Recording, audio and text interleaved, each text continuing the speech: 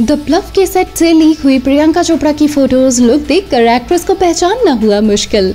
बॉलीवुड से लेकर Hollywood industry तक एक्टिव रहने वाली एक्ट्रेस प्रियंका चोपड़ा आए दिन चर्चा में रहती हैं। प्रियंका चोपड़ा ने हाल ही में अपने हस्बैंड निक जॉनस के साथ इंडिया में एंट्री की थी और इस कपल ने अनंत अंबानी और राधिका मर्चेंट की शादी अटेंड की थी और जमकर मस्ती भी की थी। प्रियंका चोपड़ा और निक जॉनस एक दिन का फ़ंक्शन अटेंड करने के बाद ही अमेरिका वापस लौट गए, क्योंकि ये कपल अपनी बेटी मालती मैरी को साथ लेकर नहीं आया था। फ़िलहाल प्रियंका चोपड़ा यूएस वापस जाने के बाद ही अपने प्रोजेक्ट्स में बिज़ी हो गई और इसका नज़ारा सोशल मीडिया पर देखने को मिल रहा है। इंडस्ट्री की पॉपुलर स्टार प्रियंका चोपड़ा ने बॉलीवुड इंडस्ट्री में अपनी खास पहचान बनाई है और अब प्रियंका चोपड़ा हॉलीवुड में अपनी एक्टिंग के झंडे गाड़ रही है। प्रियंका चोपड़ा इन दिनों अपनी upcoming Hollywood film the Bluff की शूटिंग में बिज़ी है और इस फ़िल्म के सेट से प्रियंका चोपड़ा की कई तस्वीरें सोशल मीडिया पर वायरल हो रही है। इनमें देखा जा सकता है की प्रियंका चोपड़ा एक शिप पर शूट करते हुए नज़र आ रही है। प्रियंका चोपड़ा ब्लैक आउटफिट में नज़र आई है और उनका हेयर स्टाइल काफ़ी अतरंगा लग रहा है। प्रियंका चोपड़ा ने जो लुक लिया है उसे देखकर उन्हें पहचानना मुश्किल होगा। फ़िल्म द ब्लफ में प्रियंका चोपड़ा, समुद्री डाकू के रोल में नज़र आएँगी।